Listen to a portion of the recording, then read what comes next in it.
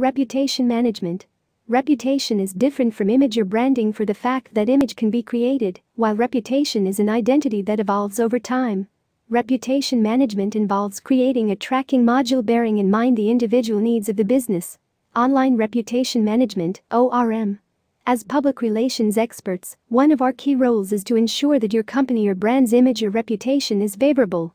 Avoiding bad publicity is key, and the way to do that is by executing a well devised plan. However, we understand that the internet explosion has given birth to a monster we call social media.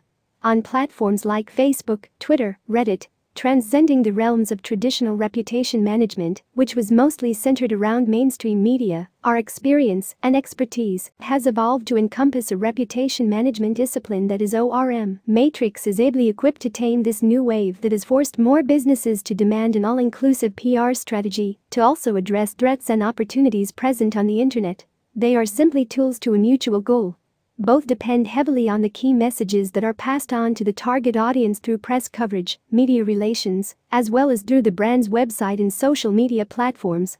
With a mandate from a brand to develop all communication material for the company, at Matrix, we are also aware that an online attack on a brand's reputation might show up on various online platforms, and there must be uniformity in all responses and actions taken. Hence, we recommend a solid ORM plan as part of a comprehensive PR strategy. As armed gatekeepers of organizational reputation, at Matrix, PR practitioners are deeply involved in the development of brand and message strategy that also includes ongoing day to day reputation management, both online and offline.